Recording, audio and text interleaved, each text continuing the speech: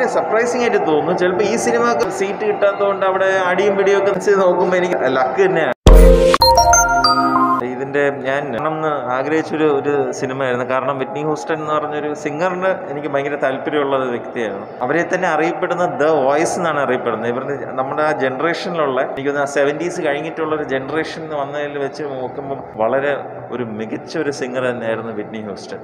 പക്ഷേ എല്ലാ അറിയപ്പെടുന്ന എന്താ പറയണേ ആർട്ടിസ്റ്റ് ഒരു ഹൈറ്റിൽ എത്തിയതിനു ശേഷം അവർക്ക് അവരുടെ ആ ഫെയിം ബാലൻസ് ചെയ്യാനും കൊണ്ടുപോകാനും ഭയങ്കരമായിട്ട് പ്രയാസപ്പെടുന്നു. സെയിം ഒരു ഹിസ്റ്ററി തന്നെയാണ് ഈ ഒരു ഇടിക്കും പറ്റിയത് unfortunately drug abuse alcohol abuse എല്ലാത്തിലും കൂടെ പോയി. അവസാനം അവരുടെ ജീവിതം അങ്ങനെ തന്നെയാണ് എൻഡ് ചെയ്തത്. പക്ഷേ അവസാനം വരെ പെർഫോം ചെയ്തു. വളരെ ബ്രില്യന്റ്ലി പെർഫോം ചെയ്തു.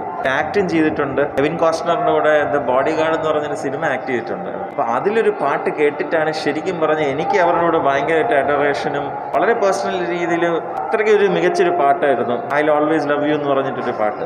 അന്നോട്ടാണ് എനിക്ക് വിറ്റ്നി ഹൂസ്റ്റൺ എന്ന് പറഞ്ഞിട്ടൊരു കാര്യം എനിക്ക് അറിഞ്ഞു തുടങ്ങിയത് തന്നെ. Then I start following her അവരുടെ ഇതിൽ അവർ എനിക്ക് തോന്നുന്നു twenty twenty one twenty two she passed അപ്പോഴാണ് വളരെ റീസെന്റ് ആയിട്ടാണ് ഷീ പാസ്റ്റ് അവേ അപ്പോൾ അവരുടെ ബേസ് ഒരു മൂവി ഉണ്ടാക്കുന്നത് ഡെഫിനറ്റ്ലി ഞാൻ കാണുന്നുണ്ടായിരുന്നു. നല്ല മികച്ച ആക്ടിങ് എനിക്ക് ഭയങ്കര സർപ്രൈസിങ് ആയിട്ട് തോന്നുന്നു. ചിലപ്പോൾ ഈ സിനിമ സിനിമയൊക്കെ വല്ല ഫിലിം ഫെസ്റ്റിവലിന് വല്ല വരികയാണെങ്കിൽ ബഹളവും ടിക്കറ്റ് മറ്റേ സീറ്റ് കിട്ടാത്തതുകൊണ്ട് അവിടെ അടിയും പിടിയും ഒക്കെ നടന്നതായിരുന്നു. പക്ഷേ ഇതാണ് പറയുന്നത് ഈ മൂവി റിലീസ് ആകുമ്പോൾ ആൾക്കാർക്ക് പൈസ കൊടുത്ത് നല്ല സിനിമ കാണാൻ ഒരു എന്തുകൊണ്ടാണ് വരാ വരാത്തതെന്ന് എനിക്ക് മനസ്സിലായി. ഇപ്പം ഓഡിയൻസ് പോട്ടെ. ഈവൻ ആർട്ടിസ്റ്റ് ടെക്നീഷ്യൻസ് ആകാം മ്യൂസീഷ്യൻസ് ആകാം ഈവൻ സിനി ആർട്ടിസ്റ്റ് പോലും ആകാം. അവർ പോലും ഈ സിനിമ ഒന്ന് കാണുന്നില്ല എന്ന് പറയുമ്പോൾ ആസ് എ നോർമൽ ഒരു മൂവി ബഫ് ശരിക്കും പറഞ്ഞ വിഷമമുണ്ട്.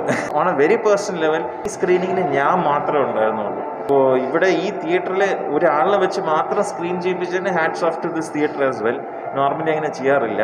ന്യൂ ഇയറിന്റെ അന്ന് ഒറ്റയ്ക്ക് ഒരു സ്ക്രീനിൽ ഒരു സിനിമ കാണുന്നത് തന്നെ എന്റെ ഒരു നോക്കുമ്പോൾ എനിക്ക് ഭയങ്കര ഒരു ലക്ക് തന്നെയാണ്.